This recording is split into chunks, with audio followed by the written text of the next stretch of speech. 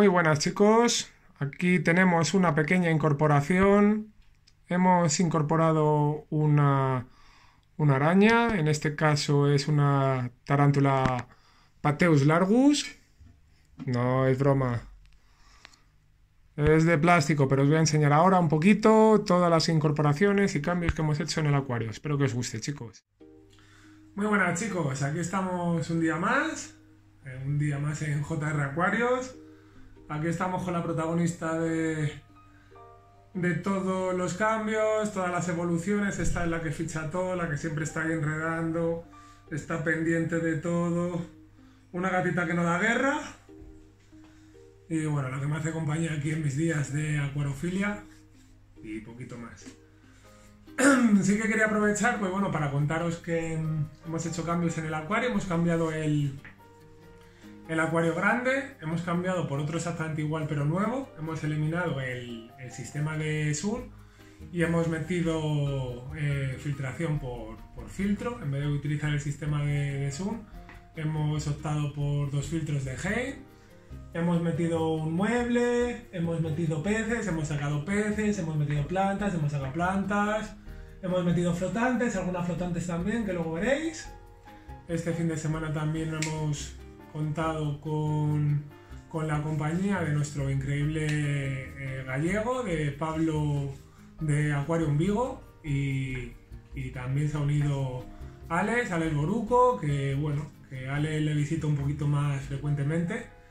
Y bien, un fin de semana de acuarofilia entre amigos y de disfrutar. Y bueno, ya os irán contando ellos novedades que tienen por ahí, os contaré yo las mías también contaros que el, principal motivo de cambiar el acuario ha sido por los arañazos, estos arañazos que cuando limpiamos, limpiamos el cristal, em, pues bueno, a mí ya me hacían daño la vista, quería un acuario en el que no tuviera un maldito arañazo porque la verdad que molesta mucho, a mí eh, haces un arañazo y ya parece que solamente ves el arañazo, ¿no? O sea, por pequeño que sea.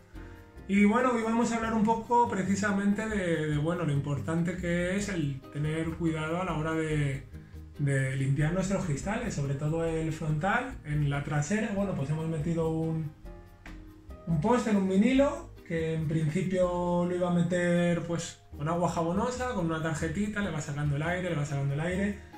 Y sí, se queda un poquito más chulo, pero igual que me dan rabia los arañazos, me dan rabia que se quede alguna maldita burbuja otra cosa igual, pues queda ahí el circulito. Queríamos poner un fondo negro con el logo y al final, bueno, pues por, por comodidad lo pegué, lo pegué tal y como estaba. Acabé harto de, del montaje del acuario. Sí es verdad que le echas mucha ilusión y muchas ganas, pero al final acabas muy harto. O sea, em, son 1,50 eh, por 50 por 70 de alto son 525 litros, útiles son 450 litros. Está cogido de, de Galifaunia. El precio es muy bueno por un acuario 450 litros. Ya entraremos otro día en, las especificaciones, con lo que viene, con lo que trae. Viene incorporado con todo. Es un acuario para empezar. Te trae desde una, una guía práctica, que os puedo mostrar aquí en un momento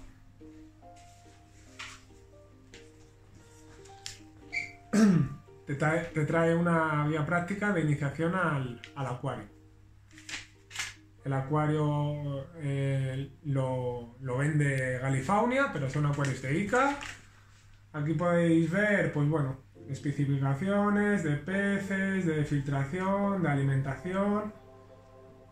Viene, venía, venía con, pues con un poquito de comida, para tratar el agua, con bacterias para cuando el acuario no es maduro, pantallas de iluminación y traía un filtro el Turbojet. Yo he optado por montarlo porque como el ansia nos puede, cuando queremos montar un acuario, el ansia viva, pues ya tenía dos filtros maduros eh, con unas especificaciones, son Game Professional 4, que para mí o desde mi punto de vista pues me cumplía mejor función, todo el material ya pues lo tenía en funcionamiento y, y bueno, ¿qué contaros? El tema de los cristales, ¿cómo, ¿cómo limpiar los cristales? Pues bueno, tenemos diferentes maneras o métodos, ¿vale? Hay quien usa la tarjeta, una tarjetita, la pasamos por aquí, una tarjeta, una tarjetita desechable de, de, cualquier cosa que tengáis por ahí, de cualquier una tarjeta vieja, de lo que sea de plástico, de las, como las tarjetas de crédito, pues algo así. Hay quien limpia con perlón, hay quien limpia con cuchilla y hay quien limpia con aparatitos que vienen con un mango, con, con esponja. Eh, conclusión que he sacado viendo todo el tema de, de cómo limpiar los cristales, que al final limpies como limpies el acuario se araña. O sea, si es con perlón, se te queda tierrita en el perlón, el perlón si lo vuelves a utilizar, o ya sea de primeras, te arrastra tierra del fondo. Importante que cuando limpiéis no hayáis sifonado antes, porque mientras que sifonáis, el problema es que se levanta pues partícula de suspensión, el que tenga el JBL de manado pues es un, es un sustrato que pesa muy poco y se levanta, puede quedar alguna impureza en el cristal y a raíz de darle y de frotar se arañan. Con cuchilla, yo digo, bueno, pues rollo las cuchillas de la vitrocerámica, algo así. Eh, pues las hay específicas para acuarofilia.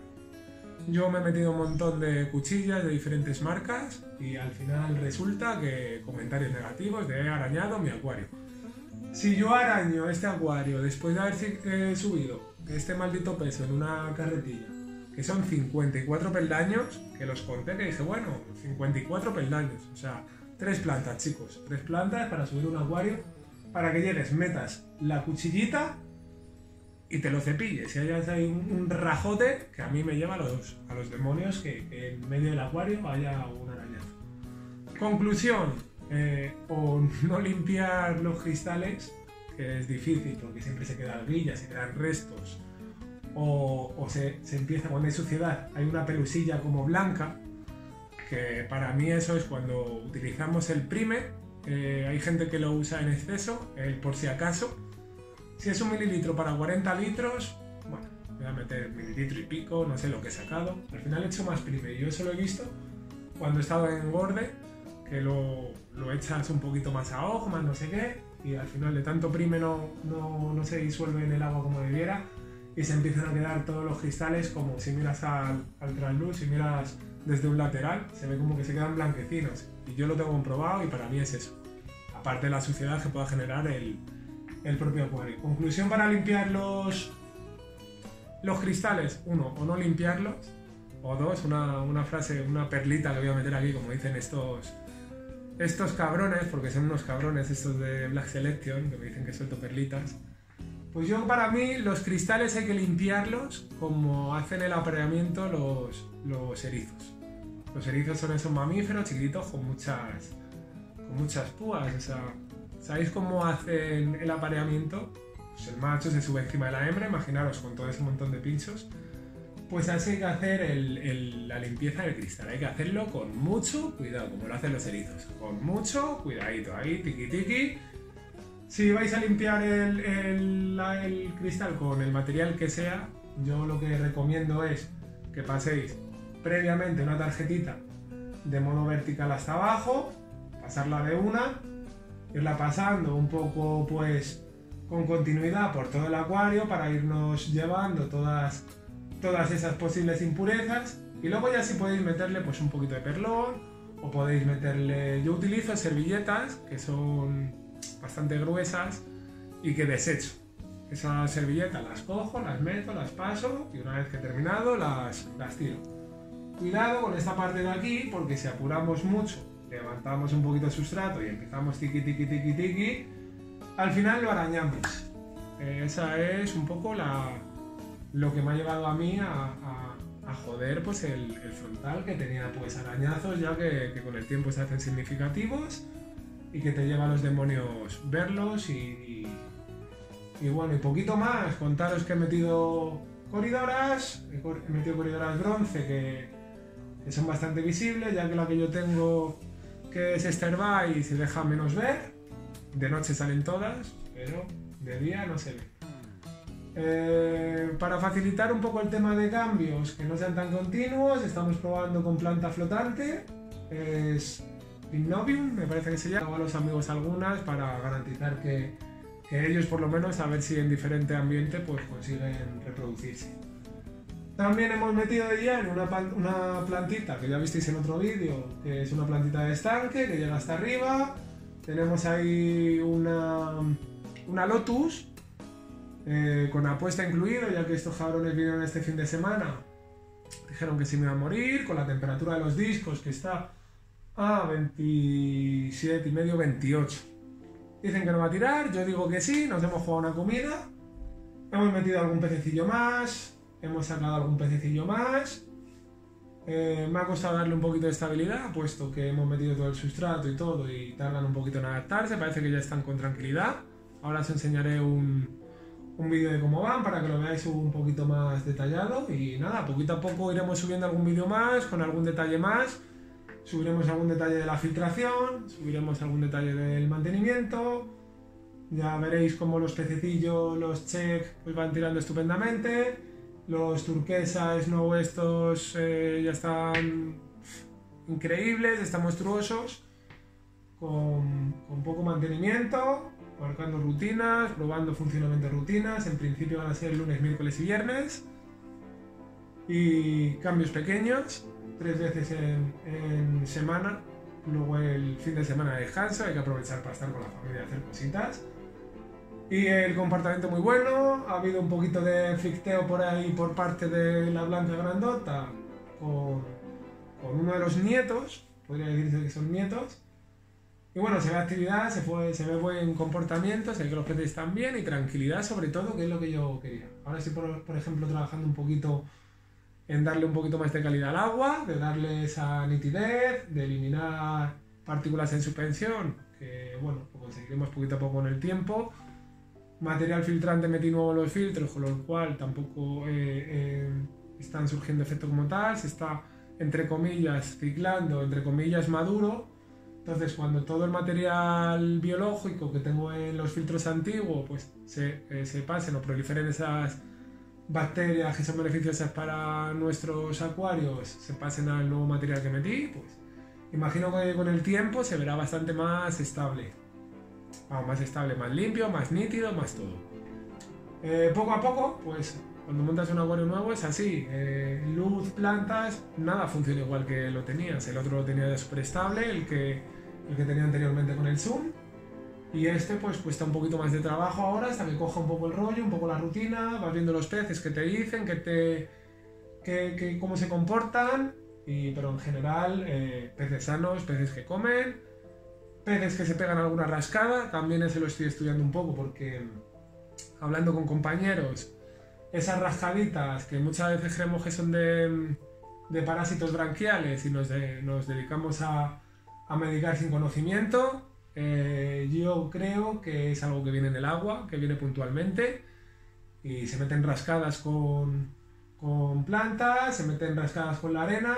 Antes no sé si os habéis dado cuenta, pero la blanquita se ha pegado ahí un repasito con una planta. Y yo lo quito eso metiendo carbono activo. Lleva el carbono activo dos días en una semanilla, yo creo que eso está erradicado al 100%. Con lo cual veremos evoluciones, veremos un poquito pues cómo, cómo van los pececillos creciendo, haré vídeos, vídeos de filtración, vídeos de, de las plantitas, cómo responden. Yo no pienso editar, no pienso editar nada las plantas. Eh, plantas, la luz que trae este acuario de California, como os he dicho, de Ica, ya me advirtió de que no era una luz potentísima. Yo para las plantas que tengo, que son anubias y las cuatro flotantes, esta que hemos incorporado, no necesitan grandes requisitos, con lo cual, con los nutrientes que va de los peces cayendo de desechos, más lo que, los desechos de la comida, si sube algún poquito el nitrato puntualmente, lo que se trata es de que estas flotantes lo absorban todo y se cree un, un biotopo sostenible, que no haya que hacerle mucho, que, vaya, que vayamos renovando las las sales con, con esos cambios que os comentaba, que normalmente pues son eh, cuatro dedos, son unos seis cubos, que son 60 eh, y 30, 90, unos 100 litros, unos 100 litros, que es como una, una cuarta parte de lo que pueda tener una cuarta, entre una cuarta y una quinta parte del contenido total del litraje del acuario. Y bueno, no os aburro más, os voy a dejar con un vídeo, un poquito de, que los veáis los peces un poquito más cerca, cómo se comportan. Y, nada, espero que disfrutéis. Gracias por seguirme, gracias por darle al like. Y como siempre, ya sabéis, desearos un maravilloso día. Chicos, que tengáis una maravillosa semana. Un saludo.